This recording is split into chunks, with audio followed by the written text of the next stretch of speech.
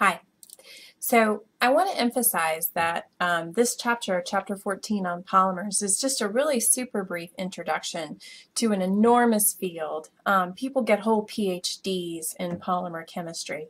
So what I'm about to tell you is just a little taste. Um, if you want more than a little taste, you can continue on with uh, watching some of these crash course chemistry videos. I really, really highly encourage you to do that. I think you'll get a lot out of it. But for um, our brief taste to continue with that. Um, let's talk about polymers. In the last lecture, I talked to you about monomers. Um, so let's talk about polymers now. So the first one is probably the most common one that I want to discuss, and it's polyethylene. So remember we talked about ethane. Um, ethane is the two carbons um, bonded to um, six hydrogens all around. Well, in order to make polyethylene, what you do is you break off those um, hydrogens on the end of either one of your ethane and you hook them together in a series, very long series, to create a long chain uh, unit that's called polyethylene. So it's a long chain hydrocarbon. Um, if you are familiar with paraffin wax burning candles, this is kind of a shorter version of polyethylene that gets burned. Now, how you create a polymer is through something called free radical polymerization. Well, let's say that, for example, you want to make um, a polymer out of ethylene. You want to make poly polyethylene. So let's say that you take your ethylene and you have this double bond here. Well, you introduce something that's got this dangling electron, this free radical, and it reacts um, breaking that double bond. Now, of course, remember we discussed that double and triple bonds are easier to break than um, um, they're, they're less stable than other sorts of uh, of monomer units. And so that bond breaks relatively easy when it sees this electron over here. It's just too tempted and it breaks that double bond and then it hooks on there. Of course when it breaks the double bond then the carbon on the right hand side it has a free electron because the double bond's been broken and it has four available bonds.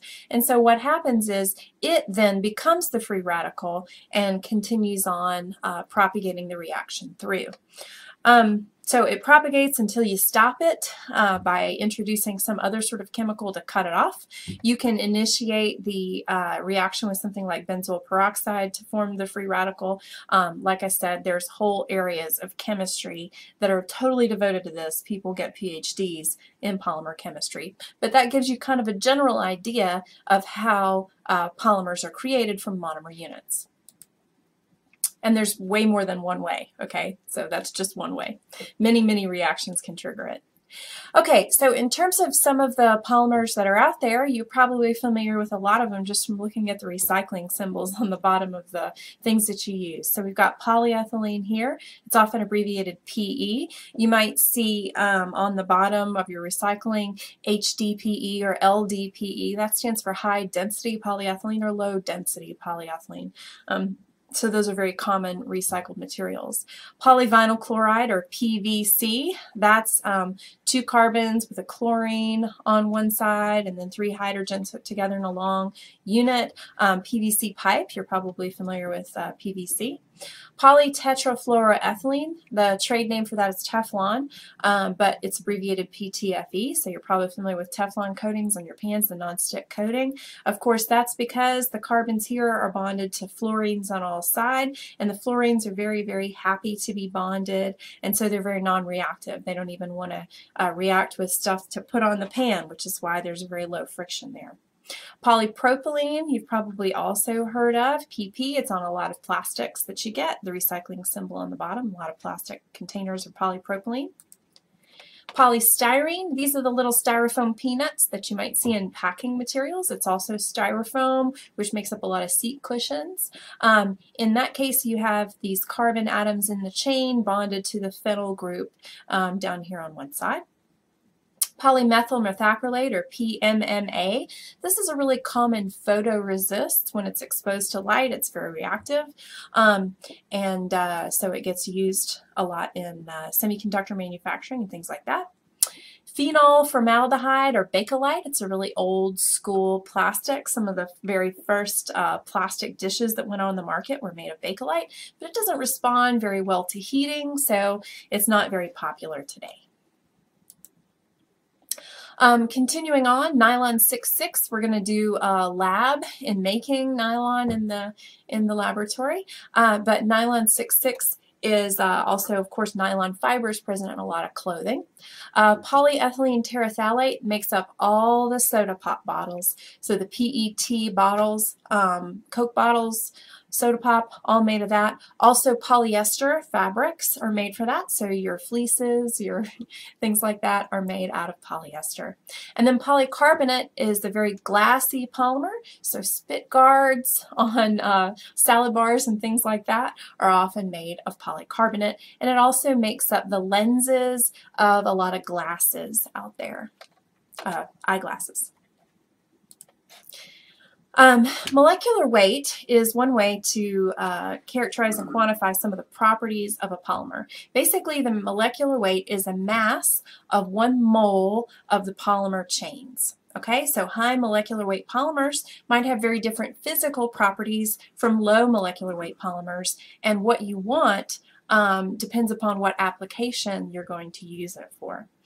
So not all chains in the polymer are of the same length. So when you buy, say, a 100,000 molecular weight polymer, you're going to get a distribution. There'll be a statistical distribution with the, um, the distribution kind of centered near the molecular weight cited on the bottle from where you bought it. Now the molecular weight impacts the properties of the polymer in the following ways. As you increase the length of the chain, it increases the melting and boiling temperatures very quickly. It also increases what's called the glass transition temperature, and that's the temperature at which a polymer goes from acting like a hard and glassy material to a rubbery and soft material. Increasing the molecular weight also increases the resistance of the material to impact, it increases its strength, and it increases its toughness. It increases its viscosity. If you're not familiar with this term, the viscosity is a material's resistance to flow. So maple syrup, for example, is a lot more viscous than water. So a polymer's viscosity can be increased as the molecular weight is increased. Um, of the polymer when it's in its molten state. This can have very large impacts on the processing of parts, manufacturing of parts for, for plastics for different applications. For example, if you want to mold inject um, molten polymer into a die um, and then allow it to harden, how easily that polymer flows into the mold is going to depend upon its molecular weight to a certain extent. You can get a tenfold increase um, if you increase the polymer chain length by tenfold, then that results in a viscosity increase of over 1,000 for the polymer. So you can see it has a huge impact. Why? Well, the reason is it's a result of the increase in the chain interaction. So if you can imagine a polymer is like a big long piece of spaghetti and then it's laying next to another piece of spaghetti, then the longer the chain is, the larger those weak bonds or van der Waals bonds are between chains and the stronger it becomes. That means that it's going to entangle more with neighboring chains um, as the chain gets lar larger. And the interaction tend to fix the individual chains more strongly in position, and that means they're going to resist deformation and breakup of the matrix that's formed, um, both at higher stresses and temperatures. Okay, one thing that you probably need to understand if you're ever going to be ordering uh, polymers for any kind of application from a chemical supply company is how these molecular weights are calculated. So there's two different kinds of molecular weights that get cited. Um, generally, when you polymerize, uh, when you go through a polymerization process, you're going to get a distribution of molecular weights. Now this isn't necessarily a symmetric distribution. It's got a tail, okay? It looks like that. So that means that since it's not symmetric, you could use a couple of different numbers to characterize that distribution. One is the number average molecular weight, and that will be the molecular weight very near the peak of the distribution. And then one is the weight average molecular weight, which is pulled a little bit to the higher molecular weight side here to the right. Okay. So the way that you calculate these two different numbers, the number molecular weight is the total weight of the polymer divided by the total number of molecules. And then the, um, uh, the weight, average molecular weight, what you do to calculate that one is you multiply the weight fraction of the chain times that value in the distribution. I'm going to do an example problem in a minute that I think will really clarify how these two numbers are calculated. Another important parameter is the degree of polymerization. The degree of polymerization is the average number of repeat units in a chain. So here, for example, if the repeat unit is these two carbon atoms, then you can count it up one, two, three, four, five, six, and so the degree of polymerization here is six, okay? You can calculate numerically the degree of polymerization by taking the number average molecular weight and dividing it by the molecular weight of your repeat unit or monomer, okay? Okay, so here's that example problem that I promised. So in this example problem, there's a table, and this table lists the molecular weight data for polypropylene material. And so from this table, it gives you the molecular weight range in grams per mole of your molecules. And then it also gives the uh, number fraction and the weight fraction. The number fraction is this xi and the weight fraction is the wi value. And then from that and this table, you can calculate the uh, number average molecular weight. And so what you can think of, if you go back to the distribution function for just a second, you can think of this as instead of a continuous distribution distribution function, maybe in terms of a histogram, okay? So you have a histogram or a bar graph of uh, what these look like. Now here, the bars have widths given here in the table, and then the height of the bar graph would be given this way. And this is if you're plotting it versus the number fraction or versus the weight fraction, okay? It would give you the height of that bar in two different ways. Okay, so to calculate the number average molecular weight, what I've done here, here it is in the table. So I have a mean value, and what I did for my mean value was I just took the middle of this range um, and plotted it or put it in the table for each value. So going between 8,000 and 16,000, I chose 12,000. It was dead center in the middle. Okay, so that's what I've done for each one of those values um, from that table and put it here. Now here is, I've copied and pasted over the number fraction and the weight fraction for each one of these two, just copied and pasted it directly, and then I used that to calculate my number average and my weight average molecular weight. So this first column here, I take my values for the mean in column 1 and multiply it by the number fraction x here in column 2, and that I used for column 4. For my weight fraction, what I've done is I've taken my column 1 values and multiplied it by the weight fraction here in column 3, and that gives me column 5.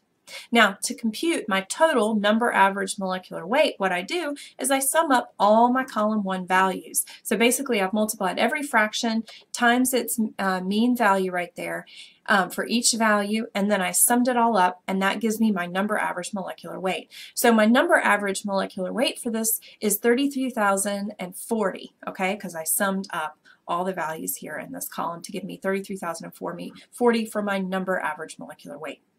For my weight, average molecular weight, I get 36,240. Again, it's pulled to the right a little bit, as you would expect from the um, earlier plot that I showed you. And that I got just from summing up all the values in column 5 here. Okay, so there's my number average molecular weight, part A, my weight average molecular weight, part B. And for part C, I wanted to calculate the degree of polymerization. So the degree of polymerization, you take your number average molecular weight and you divide it by the molecular weight of your repeat unit. Okay? So the molecular weight of my repeat unit is 42.09 grams per mole. How do I know that? Well, it's polypropylene. Okay, so poly or propylene has three carbons. Um, it starts out as uh, propane, so it has, I'm sorry, propylene. So it has three carbons. Each carbon atom is 12.01 grams per mole. So I do 3 times 12.01. And then it's got six hydrogen atoms. So each hydrogen atom has a molecular weight of, or an atomic weight of 1.01 grams per mole. So it's 3 times 12 plus 6 times 1 to give me my uh, value for my monomer, which is 42.09. And then I take my number molecular weight, which is 33,040, and divide it by 42.09, and that gives me my degree of polymerization. And so uh, I get a lot of decimals here, um, but basically it would round to 785 repeat units um, on, a per, on a per molecule basis. Okay, now for polymers, the molecular shape can have a really big impact on the properties of the material. We're going to call the molecular shape the conformation. Uh, the conformation of the material can change. Uh, can change. The chain can actually bend and twist by rotating around the carbon atoms and their bonds. Um, and it's not necessary to break those bonds in order to alter the molecular shape. The rotation can just happen naturally. And what this allows the thing to do is to entangle with neighboring molecules, kind of like this spaghetti. So the structure has a really strong influence on other properties of the polymer. So for example, two samples of natural rubber may exhibit different durability, even though their molecules comprise the same monomers. And a polymer's architecture affects many of its physical properties, and this includes, but isn't limited to, the viscosity, which we already talked about, the resistance to flow, the solubility in different organic solvents, the glass transition temperature, and the size of the individual polymer coils in the solution. And this can all um, be sort of uh, put in terms of a parameter of the chain end-to-end -end distance R. This kind of gives you how much the polymer entangles with itself and the neighboring molecules. So the more entangled it gets, the crazier it gets, the harder it is to pull apart, the higher its resistance to flow, and the less its uh, solubility is in different solvents. And that can be explained by thinking about how difficult it is just to entangle yarn or uh, a chain chain, uh, a, a, necklace chain, it's it's nigh on to impossible sometimes. And so you can imagine that if it's on the molecular level and things are getting entangled, uh, that, that really isn't going to change. Um, here's an SEM image that I showed earlier in the, the lectures of polymer spaghetti. So you can see here it's on the nanometer scale. It's uh, getting entangled. I'm sorry, the micrometer scale is getting entangled. It's crazy. It's not going to be any different when you shrink it down even further. So there's different kinds of molecular structures that polymers can have, and these molecular structures can also impact the polymer's performance. So for example, you can have a linear polymer like poly, poly, polyethylene, I'm sorry, and that can have a certain kind of structure. You can have a branched polymer, okay? And if you have a branched polymer, this is similar to polymethyl methacrylate perhaps, then you have these side chains that come off. So that's your branched polymer. You can have cross-linked polymers, and that's when the polymer chains actually form bonds with neighboring chains. So you'd have a bond sticking between the two polymers like that. Cross-linked polymers are stronger and tougher than other polymers. For example, your car tires are heavily cross-linked. And then you can have network polymers where the polymers are bonding like crazy with any polymer that crosses its path. And these are very, very tough um, and resistant to wear. Branched polymers, we talked about these, but branched polymers can have a main chain with one or more substituent side chains or branches, and then they can have all kinds of really, really fun, interesting shapes that lead to different properties. So some examples of this, types of branched polymers, star polymers coming off like that, make little stars, comb polymers, looking like a comb, brush polymers coming off either side, dendronized polymers, ladders, dendrimers, they all form these different structures, and because they have these different physical structures, they have different properties. Now, Configuration is different from conformation. They often get confused, but they are actually different. The conformation, as we discussed, can change without bond breaking. It can just rotate within the bond. However, the configuration, in order to change that, you do have to break the bond. So one example of that is a stereoisomer. So for example, this has the same chemical formula, but the side group is on a different side. It's kind of a mirror image of itself. Okay, so here we've got our side chain, this little R group on this side, and here it's on the top. So stereoisomers are mirror images, and you can't um, superimpose or change one to another without actually breaking the bond. The tacticity of a polymer um, is the stereoregularity or the spatial arrangement of your side groups along the chain. An isotactic polymer has all the groups on the same side of the chain. That's shown here. All our little side groups are on the bottom. Syndiotactic polymers have the side groups on alternating sides, so it goes um, back and forth. Atactic groups have the groups positioned very randomly, so there's no predicting where any one is going to be. Um, another thing to remember is the cis and trans notation or, or uh, words that I introduced earlier. When it's a cis, um, then they're on the same side. The side groups are on the same side. If they're on trans, then they're on opposite sides. And this can change um, some of the physical properties of the polymer as well. So for example, cis isoprene is natural rubber, trans isoprene also natural, but they're positioned on different sides of the chains and they have different physical properties. More vocabulary to throw at you. Copolymers are when you take two different monomers and you polymerize them together. So you have two different groups. For example, like you might have a polyethylene and a polypropylene, and then you polymerize those two and they can go um, together. You can do this randomly, so you might have different monomers attached in different amounts. You can alternate, so you go, you know, propylene, ethylene, propylene, ethylene, like that. Or you can do it in blocks where you have a big block of polypropylene and hooked to a big block of polyethylene and so on and so forth. And then finally you can do it in a graft so that you have, say for example, your polyethylene chain grafted to side chains of polypropylene.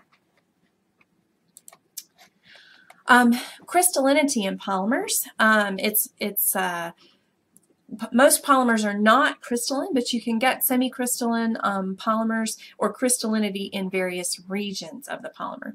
So of course, for a crystalline structure, you have to have an ordered atomic arrangement with the molecular chains. So they have to pack together nicely and sit next to one another in a regular, um, uh, regular array. So here you can see, this is sort of a little simulation or cartoon of polyethylene uh, chains kind of nested and sitting one next to one another in a regular way.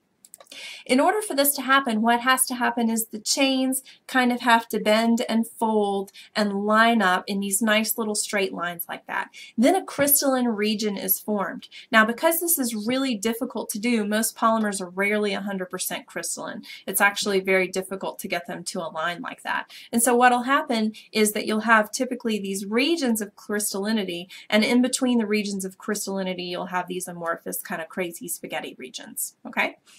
What that means is that um, they usually express the degree of crystallinity in a polymer, sometimes a percent crystallinity, and the different properties of the polymer can depend upon what percent crystallinity they have.